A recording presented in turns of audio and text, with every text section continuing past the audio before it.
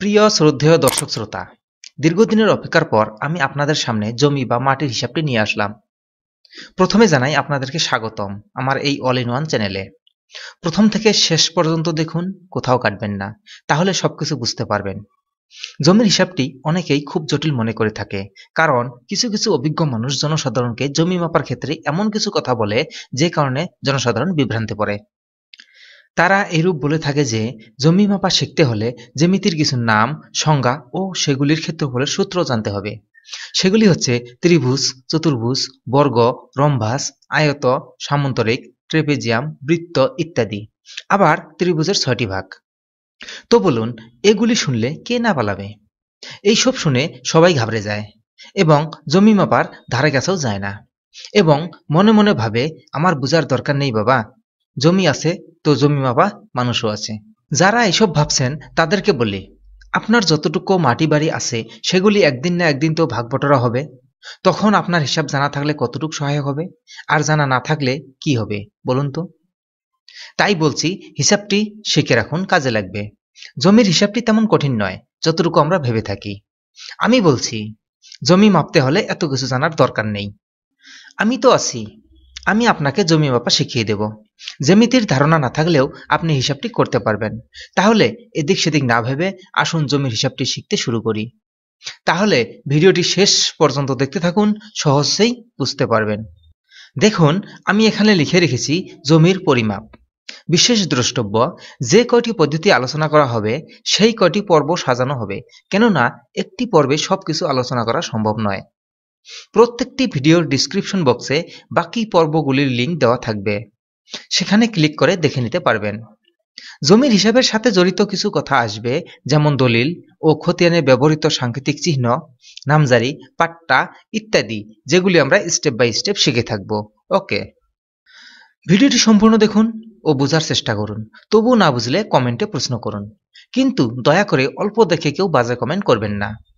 আজকে এক নং পদ্ধতিটি আলোচনা করব ত্রিভুজ আকৃতির জমি নিয়ে। যারা এই নামটি জানেন না বা মনে রাখতে পারবেন না, তারা শুধু তিন কোনা জমি বা মাটি বলে মনে রাখবেন। যে পদ্ধতিটি দেখাবো, সেটি দিয়ে খুব সহজে যে কোনো তিন কোনা বা ত্রিভুজ আকৃতির জমি, যে কোনো চার কোনা বা এটাকে চতুর্ভুজ বা বর্গ বা রম্ভাস বা আয়ত বা সামন্তরিক বা ট্রিপেজিয়াম আকৃতির জমি, পাঁচ কোনা ছয় কোনা ইত্যাদি যত কোনাই থাকুক না কেন, সব আকৃতির জমি হিসাব করতে পারবেন। কেবল গোল বা বৃত্ত আকৃতির জমি ছাড়া। ওকে, তাহলে নিচের ছবিগুলি দেখুন। আসন পরিচয় হয় ত্রিভুজ, চতুর্ভুজ, বর্গ, রম্ভাস, আয়ত, সামন্তরিক, ট্রিপেজিমের সাথে। আবারও বলছি, ঘাবড়াবেন না। এই নামগুলি জানা প্রয়োজন না, কিন্তু জেনে রাখাটা ভালো। এই যে ডায়াগ্রামটি আপনারা দেখতে পাচ্ছেন এই ধরনের ডায়াগ্রামকে বলা হয় ত্রিভুজ আকৃতির জমি বা তিন কোনা আকৃতির জমি। কারণ এখানে দেখেন তিনটি কোনা আছে, এই একটি কোনা এই একটি কোনা এই একটি কোনা তিনটি কোনা থাকলে তাকে আমরা ত্রিভুজ আকৃতির বলব বা তিন কোনা আকৃতির জমি বলব। ওকে? ত্রিভুজের আরও ছয়টি ভাগ আছে, সেগুলি আলোচনা করব না, কারণ সেগুলির তেমন দরকার নেই। আমার এই চ্যানেলে জিকে অর্থাৎ সাধারণ জ্ঞান দেওয়া হয়, সেগুলি দেখার অনুরোধ থাকল। আপনার ভাই, বোন, সন্তান বা আত্মীয়দেরকে সেগুলি দেখিয়ে জ্ঞান বাড়াতে সাহায্য করুন। দেখেন, এখানে যে ডায়াগ্রামটি দেখতে পাচ্ছেন সেই ডায়াগ্রামটিকে বলা হয় বর্গ আকৃতির জমি বা চারকোনা আকৃতির জমি। এর চারটি বাহু বা আইল সমান থাকে এবং এর সবগুলি কোণ সমান থাকে, অর্থাৎ নব্বই ডিগ্রি করে থাকে। এখন দেখুন, এই বর্গ যেটি আছে, এই বর্গকে এই মাথার থেকে যদি আমি একটি ধাক্কা দেই, তাহলে কি হবে? এই পয়েন্টটি সরে হয়তো এদিকে আসবে আর এই পয়েন্টটি সরে হয়তো এদিকে আসবে। তাহলে এর নামটিও চেঞ্জ হয়ে যাবে। কি চেঞ্জ হবে? দেখুন। দেখুন, যদি আমি ধাক্কা দেই, তো এইরকম একটা আকৃতি নেবে, আর সেই, এই আকৃতিকে বলা হবে রম্ভস আকৃতির জমি বা চার চারকোনা আকৃতির জমি। অর্থাৎ বর্গকে যদি আমরা ধাক্কা দেই, ধাক্কা দিলে এটাকে রম্বস হয়ে যায়। তো এর চারটি বাহু বা আইল সমান থাকে, শুধু সামান্য একটু হেলে থাকে। এর সবগুলি কোণ সমান নয়, কিন্তু বিপরীত কোণগুলি সমান। বাস্তবে ফিল্ডে গিয়ে এই রকম সাইজের জমি পাওয়া কষ্টকর হয়, কেননা কোন মাপাটি কষ্টসাধ্য ব্যাপার। যারা কোন কি বুঝেন না, তারা কমেন্টে বলবেন, কোণের বিস্তারিত নিয়ে একটি ভিডিও বানাবো। তারপর দেখুন, আমি আরেকটি ডায়াগ্রাম আপনাদের সুবিধার্থে এখানে দিয়ে দিয়েছি। এই ধরনের ডায়াগ্রাম এটাকে বর্গর মতো দেখতে, কিন্তু বর্গর থেকে একটু এক সাইড একটু বাড়ানো থাকে। ঠিক আছে? এই ধরনের আকৃতিকে বলা হবে আয়ত আকৃতির জমি বা চার চারকোনা আকৃতির জমিও বলা হবে এটাকে। এর বিপরীত বাহু বা আইল দুটি সমান থাকে। শুধু এর দুটি দৈর্ঘ্য এবং দুটি প্রস্থ থাকে। বড় বাহু বা আইলটিকে দৈর্ঘ্য এবং ছোট বাহু বা আইলটিকে প্রস্থ বলা হবে। এর সবগুলি কোণ সমান, অর্থাৎ নব্বই ডিগ্রি করে। এখন দেখুন, এই যে আয়তটি আছে, এই আয়তটিকে যদি বর্গর মতো করে যদি আমি ধাক্কা দেই, তাহলে একটি রূপ নিবে, কারণ এই পয়েন্টটি তখন এখানে আসবে আর এই পয়েন্টটি তখন এখানে আসবে। তো যে আকৃতিটা নিবে, সেই আকৃতিটাকে কি বলা হবে, এখন আমরা দেখব। দেখুন, আমি আয়তকে ধাক্কা দিছি। ধাক্কা দেওয়ার পরে এইরকম একটা আকৃতি নিছে সেই আকৃতিকে বলা হবে সামন্তরিক আকৃতির জমি বা চার চারকোনা আকৃতির জমিও বলা হবে এটাকে, ঠিক আছে? এর বিপরীত বাহু দুটি বা আইল দুটি সমান থাকে এবং এর সবগুলি কোণ সমান নয়। কিন্তু বিপরীত কোণগুলি সমান।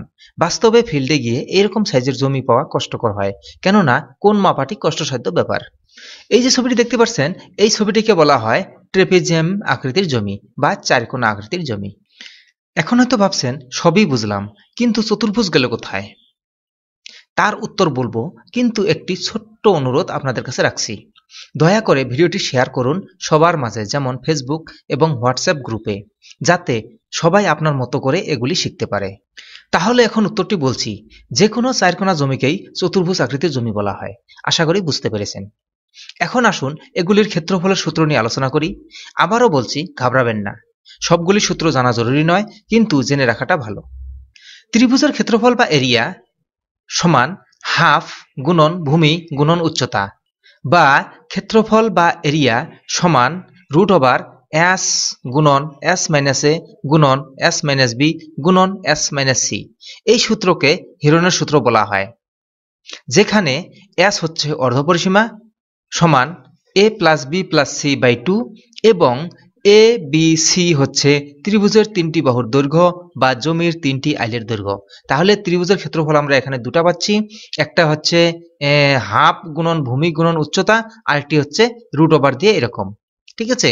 তো এই দুটি সূত্র যে কোনো একটি সূত্র দিয়ে আমরা করব, কিন্তু কোনটা সূত্র ভালো হবে, কোনটা সূত্র মানে আমাদের খুব সুবিধা হবে ব্যবহার করতে, সেটা আমি যখন প্র্যাকটিক্যালি আপনাকে বুঝিয়ে দেব, তখন আপনারা বুঝতে পারবেন। ওকে তো আপনারা এখানে দেখতে পাচ্ছেন, এখানে আমি ক্যাপিটাল এক্স দিয়ে দিয়েছি। আমি এই ভিডিওতে যেখানে ক্যাপিটাল এক্স ইউজ করব, সেখানে আপনারা মনে রাখবেন, এটা গুণন চিহ্ন, এটা ক্যাপিটাল এক্স নয়। ওকে এগুলি এখন কঠিন মনে হলেও পরে যখন এক্সাম্পল দিয়ে বুঝাবো, তখন ইজি মনে হবে। এখন হয়তো ভাবছেন, এগুলির যদি দরকার নেই, তাহলে বলছি কেন? শুনুন, সবাই তো আর একরকম নয়। কেউ কম বুঝে, আবার কেউ বেশি।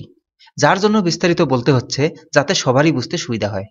বর্গের ক্ষেত্রফল বা এরিয়া সমান বাহু স্কোয়ার বা বাহু গুণন বাহু বা জমির একটি আইল স্কোয়ার বা এ স্কোয়ার।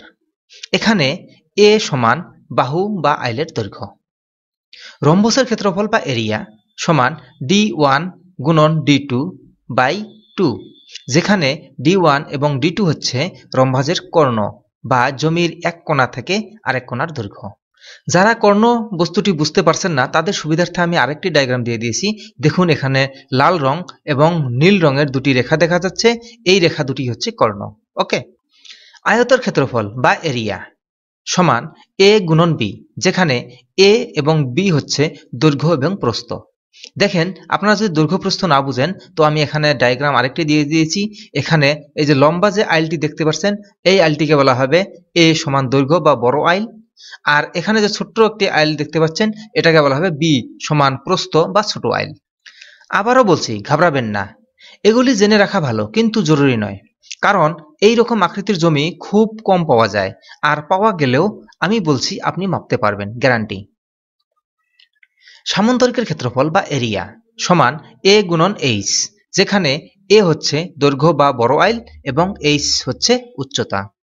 দেখুন, আপনাদের সুবিধার্থে আমি মানে এ আর এইচ টি আপনাদেরকে বুঝিয়ে দিয়েছি যে সামন্তরিকের এই যে যে বড় আইলটি দেখতে পাচ্ছেন, এটাকে আমরা এ বলব, আর লাল রং দিয়ে যে আমি একটি লাইন টেনে দিয়েছি, সেইটাকে বলা হবে উচ্চতা বা এইচ তারপর আসুন, ট্রেপিজিয়ামের ক্ষেত্রফল বা এরিয়া, সমান এ প্লাস বি গুণন এইচ বাই টু এখন দেখুন, এই এটা বলা হবে ট্রেপিজিয়ামের, যেটা বড় বাহু থাকে বা আইল থাকে সেটা, আর ট্রেপিজিয়ামের যে ছোট বাহু বা আইল থাকে, সেটা হচ্ছে বি আর উচ্চতায় যে লাল রঙের যেটা আমি লাইন টেনে দিয়েছি, সেটাকে বলা হবে উচ্চতা বা এইচ ওকে? উপরে দেখানো সূত্রগুলি বাদেও আরও অনেক সূত্র আছে, সেগুলি জানা থাকলে ব্যবহার করতে পারেন। শেষবারের মতো বলছি, ঘাবড়াবর কোনো প্রয়োজন নেই। উপরে দেখানো সবগুলি সূত্র জানার বা মুখস্থ রাখার দরকার নেই। কিন্তু জেনে রাখলে বা মুখস্থ রাখলে কোনো ক্ষতি নেই। আপনাদের ভালোবাসা আমাকে ভিডিও বানাতে অনুপ্রেরণা জাগায়। তাই ভিডিওটি লাইক ও শেয়ার করলে আপনাদের ভালোবাসা আমার সঙ্গে আছে বলে মনে করব এবং এরকম জ্ঞানমূলক ভিডিও আপনাদেরকে উপহার দেব। বুঝতে কোনো অসুবিধা হলে অবশ্যই কমেন্ট করে জানাবেন। মাত্র দুইটি সূত্র ব্যবহার করে যে কোনো তিন কোণা বা চার কোণা, পাঁচ কোণা বা ছয় কোণা বা যত কোণাই থাকুক না কেন সেগুলি মাপতে পারবেন। এবং গোলাকার জমির ক্ষেত্রে একটি সূত্র ব্যবহার করতে পারবেন।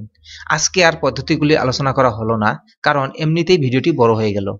এর পরের পর্বে সেই সম্বন্ধে আলোচনা করব এবং এক্সাম্পল দিয়ে বুঝিয়ে দেব।